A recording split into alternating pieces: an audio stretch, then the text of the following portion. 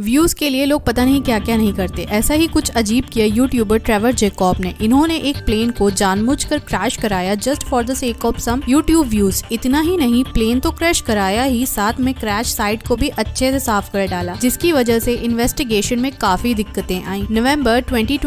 को Los Padres National Forest के ऊपर ऐसी ये अपने प्लेन को उड़ाते हैं जिसमे कई जगह पे कैमराज माउंटेड होते हैं और ये अपने साथ अपना पैराशूट और सेल्फी स्टिक भी लेकर जाते हैं इसके बाद ये खुद को प्लेन से जंप कराते हुए और ग्राउंड पे लैंड करते हुए पैराशूट के साथ फिल्म करते हैं while the cameras mounted on the airplane captured it crashing to a bushy area in the forest और फिर जंगल में जाकर ये अपने कैमराज को भी ढूंढ लेते हैं और उसके बाद ये एक 12 मिनट का वीडियो अपलोड करते हैं ऑन हिज यूट्यूब चैनल जिसका टाइटल होता है I crashed my airplane plane जिसपे नियरली थ्री मिलियन व्यूज आते हैं and now he could face up to twenty years in federal prison